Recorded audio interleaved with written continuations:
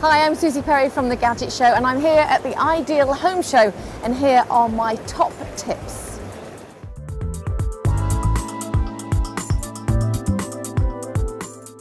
I think there's going to be lots of big things in home technology this year. One of them being entertainment. So 3D TV is coming whether you like it or not. All the big manufacturers are making 3D tellies and we've got one here from Sony and if you're into your gaming it's fantastic. So 3D TVs are on the way, smaller skinny TVs are on the way, OLED tellies and also gaming consoles, lots of entertainment and lots of stuff coming your way.